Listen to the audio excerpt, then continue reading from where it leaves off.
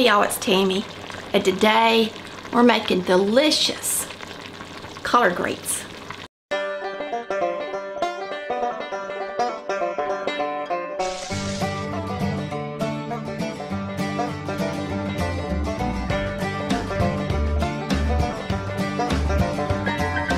Y'all, it's Tammy with Collard Valley Cooks and it's almost New Year's so I'm getting my collards prepared ahead of time. Collard greens are something you can make before the big day um, and you got to have some on New Year's Day because it's a tradition. Now these are very large collards that I got down at the grocery store. These came from Ingles. You want to get two bunches and they had them on sale two for five this week. Um, whenever you're making a large collard, you absolutely do not want to put this large stem in there. That's why I do not like to buy collards that are already chopped and ready to cook because they've all got the big stems in there. The stem is what makes them more bitter tasting and I just don't like to cook it.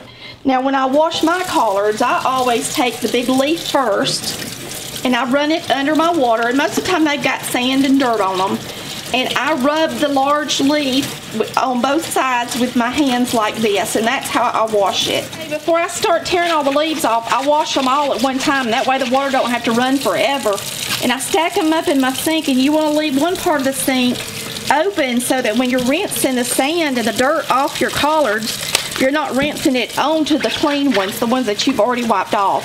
So um, I also put on a little bit of warm just so it don't freeze my hand to pieces just so I just wanted to show y'all that and then um, I'm almost to the end on washing my collards.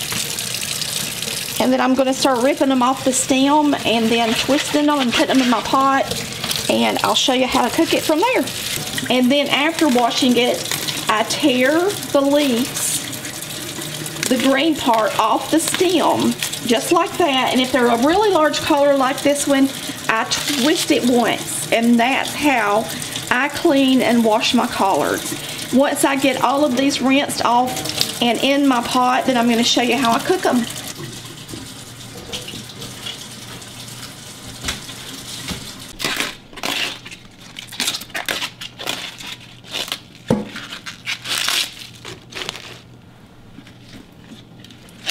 Okay, those two batches of collards made this pot go all the way to field. And when you put water on collards, to know how much water they really need, you should take your hands and press them down as tight as you can get them. And you're going to start adding water. And when that water gets up to your hands in the pot, that's all the water you need. So I usually let it go right up, right to my fingers, right above my fingers like it's doing now. And then I turn it off. These are going to reduce a whole lot. It looks like it's going to be a whole lot of collards, but once they're cooked, it won't be near that many. So you do need to make at least two bunches. I'm going to put two bouillon cubes in here. Um, yes, I use bouillon in my collards unless I've got some ham handy. I don't like uh, other meats in my collards. Uh, I haven't tried the smoked turkey legs. I'm sure it's probably pretty good. I just do not like bacon or anything like that in mine. So I use two chicken Knorr bouillons and believe it or not, they're delicious when they're done. So if you'll just do it and trust me, um, you'll be surprised. Now we're gonna put in about a quarter cup of oil and that's olive oil. You can use whatever kind of oil you want. You can use butter if you want to. Just put some kind of oil in it. And then you want two tablespoons of sugar in there. And you can use brown sugar or you can use regular sugar. Just put in two tablespoons. Whichever one you use. Of course, if it's regular sugar, if it's brown sugar, it needs to be packed or heaping on a, on a spoon like this. Um, or just packed in a regular tea, uh, measuring spoon. So that's uh, two bouillon, two tablespoons of sugar. I don't tell you to use brown sugar in my cookbook, but you can. Um, or it doesn't really matter, whichever one you got. And then put your water in there. And we're going to cover these and start to boil them and let them start cooking. It's going to take a while to make these collars and get them tender. So this is not something you need to do an hour before it's time to eat. Make them a day ahead and that way you can reduce them some more if you need to. Um, when you get finished with these, you're going to want the collard, uh, some people call it pot liquor, the actual broth that it, that it makes will be nice and brown and absolutely delicious. All right, these have been in here about an hour and a half on medium low, which is pretty close to medium, I guess, for most of people because I have a lot of gas coming to this eye. What Look at world? what? Why don't you just say this is a big eye instead of I have Where's a lot my of gas. food? Good. Okay, Where's the food? you're. It's in that potato chip bag. And um, but look how good the juice looks in it. But now I'm gonna cook these a little longer because these are older collards and I am going to cover them with some more water and continue to simmer them.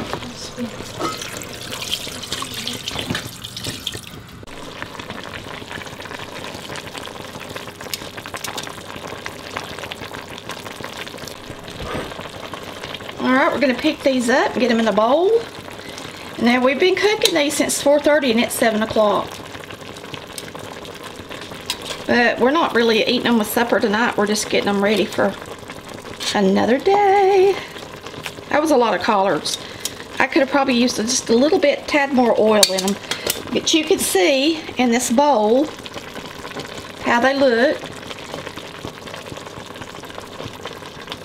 And I'm going to give them a taste and see if they've got enough salt. When you cook, you need to make sure you taste it before you serve it to somebody else. It's hot.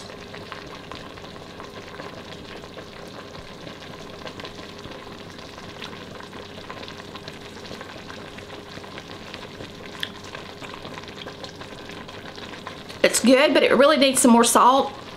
But before I serve these, I'm gonna cook most of the juice out of it. And so when they reduce, they're gonna get saltier. So if you reduce yours as much as I do, don't add the salt until they reduce all the way down, then add the salt. If you're gonna serve them like this with a lot of water in them, then go ahead and add salt. But tonight, I'm actually gonna pour these up, get them uh, cooled down, get them in the refrigerator, and then before I serve them, I'll probably cook them down just a little bit more, so I'm not gonna add salt at this point. Okay, I got these cooked up early for New Year's. We have a tradition. We have collard greens. That is the money, the paper money that we make for the year. And we have black-eyed peas, which is the change. So when we were growing up, Daddy always made sure that we ate plenty of collard greens and black-eyed peas at the table because he said he needed to make more money. I hope you've enjoyed watching Collard Valley Cooks, where we cook like Mama did.